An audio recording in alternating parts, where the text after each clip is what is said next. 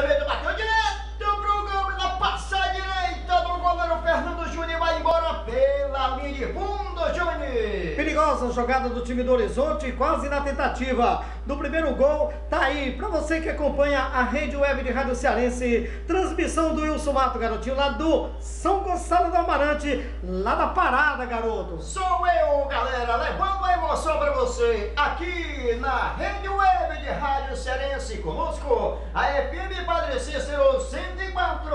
104,7 do município de Aquiraz. Olha o horizonte, dominou pela ponta direita, bateu pro gol, ela vai embora pela linha de fundo. Erandi chegando, soltou um torpedo pra boca do gol. Ela passou pelo goleiro Fernando Júnior, dando um susto no torcedor coral, Que pancada, Wilson, de pé direito, ele bateu firme, bateu forte na tentativa de fazer o primeiro gol da partida, mas não deu. Aqui pra você na rede web de Rádio Cearense, o Erandi bateu forte, mas não deu dessa vez na tentativa do primeiro gol. Continua o placar 0 a 0 Wilson. De segunda a sábado, de 12 até 13 horas, você acompanha o melhor do futebol cearense brasileiro e internacional através da rede web de Rádio Cearense com a Bola de Ouro, programa Balanço Esportivo para você de segunda a sábado. Olha o time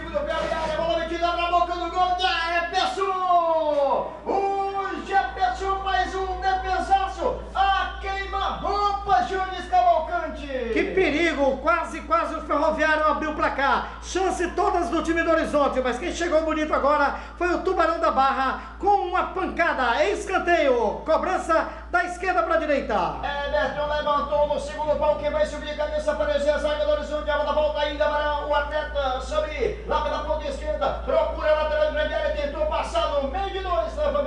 da equipe do Horizonte, ele bate na bola lá em cima do Sami ainda, recua bola para a equipe do Peixe, volta a bola para Reginaldo, o Reginaldo vem trabalhando bola, apareceu o Cleilton no meio, apareceu também o camisa 10 Flamengo, vem pro lance, aliás é o Tchatchan, ele vem pro lance, olha para quem dá, trabalha a bola pela meia, lá pelo setor de ponta direita, levanta a bola para a boca do gol.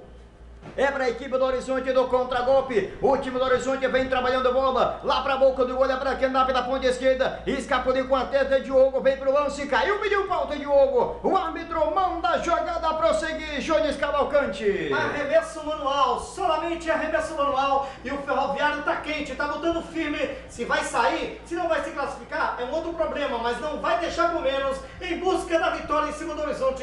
0 a 0 para cá. É a rede web de Rádio Cearense para você através da 104,7 Patricício, direto de Aquiraz, Wilson. É o futebol da Rede Web de Rádio Cearense. É a emoção para você toma conta do Brasil Esportivo.